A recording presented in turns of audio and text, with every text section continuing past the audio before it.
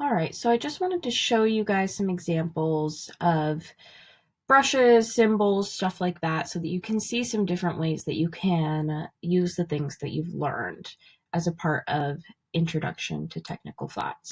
So you can see in this example of this dress that the all of the like curves and fullness and ruffles are all created with individual lines. All of these pieces aren't connected, so filling this shape with a color is not going to yield the best results. Let's just show you here. Even if I send this to the back, because all of these shapes um, in the outline aren't filled or aren't connected, you're going to end up getting these kind of like crazy things that are happening. Similarly, all of the ruffles have been created with individual lines, which not only doesn't look um, uniform, but it also takes a ton of time to create. Alternatively, you can do something like this example where you can take and create brushes that are the ruffles. So just by drawing this line, taking the time to create the brush and then just drawing this line and then using your brush um, panel over here, you can see that I've created this ruffle brush and it makes it so much easier to use it throughout the sketch, especially if you're doing several different styles that all kind of have the same thing. Um, I also did something similarly here and then just expanded um, the brush in order to make some edits to it, but the basic outline of it was there for me, which is great. And you can combine different brush brushes to create the look that you're going for. So this is a different brush. You can see that here. You can make these buttons into symbols and just quickly pull them out of your library.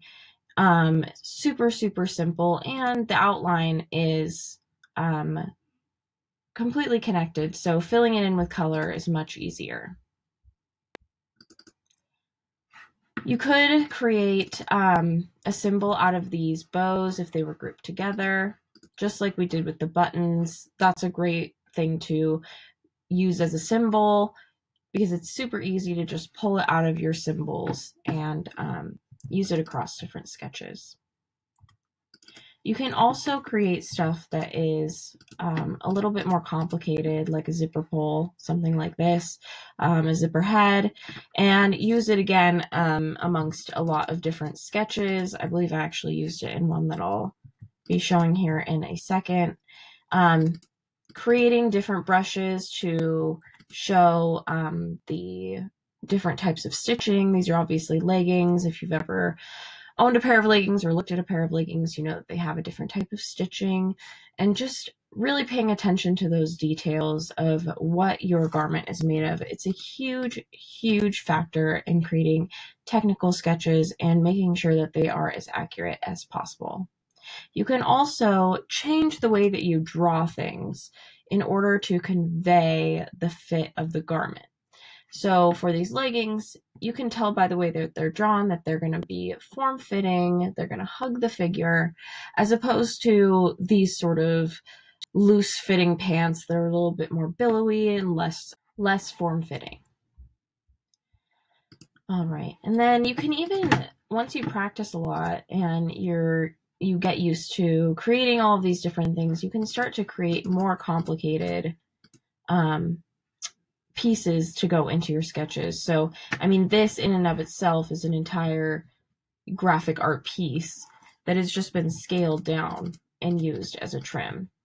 And you can also portray different things in different ways, like taped seams are obviously going to be, you know, a big, large piece of taping that's taped over the jacket.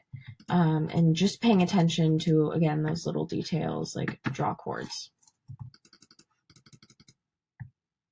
So there are tons of different ways that you can create your technical sketches and really it just, you know, practice makes perfect and taking the time to create a brush or symbol at the beginning can save you a ton of time in the long run.